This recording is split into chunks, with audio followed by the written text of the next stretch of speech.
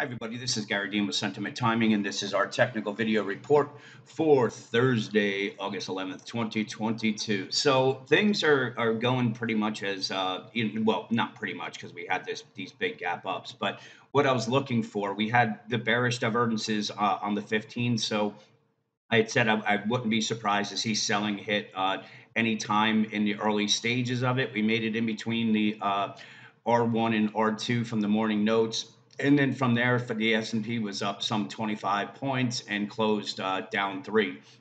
So the best way that I have this as far as a wave structure, I kind of moved it because you can see right here with the momentum. Uh, let me just move this up a little bit. Uh, right here. So you can see right here, like this is where the divergence is that you're able to trade. So this was most likely to wave three. And then uh, right now, what's going to happen is we're going to come down anywhere like what I was looking for was a test at a 40, 41, uh, 88 area, or possibly even coming down to the 4158 making the wave four and then having that final wave five up. And that's the wave that we really really want to be looking to to short because that's the, that's going to be a little bit of a mini swing trade meaning that we're going to be looking for a move to come two 300 points on that. So that's really the big trade that's going to be that's pending. But right now we're still kind of if we take out like this 40 to 40 98 area then then this the wave structure is going to just simply move to that was three, this was four, and we we just completed wave five.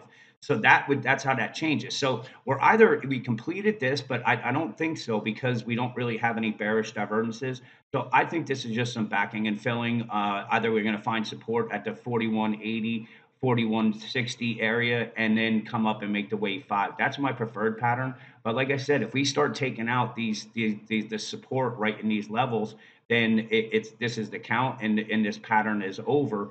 And from, most likely we're coming down to the 3900 level. So right now, um, you know, it's it's fairly kind of simple. This is what, what the bulls have to defend the 4184. If they lose it, we have we have the support at the 4155. But remember, we have a gap here all the way where we opened yesterday, and that's at the 41.29.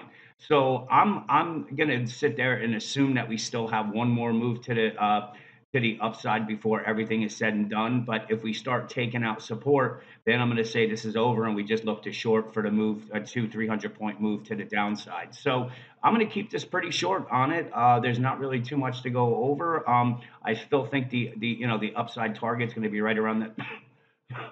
sorry, I still have this lingering cough. Um, but I still think the upside target is going to be somewhere around that the the 4300 uh, to up to the 4322.